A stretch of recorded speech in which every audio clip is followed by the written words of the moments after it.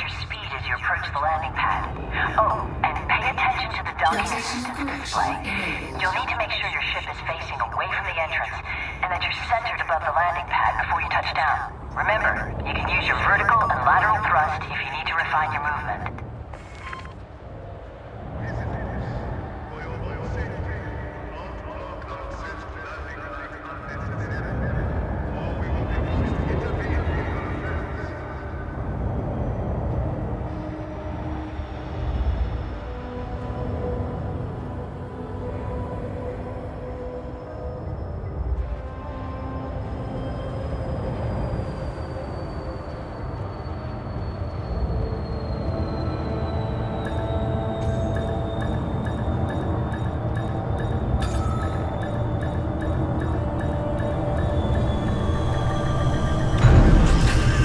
Nice job.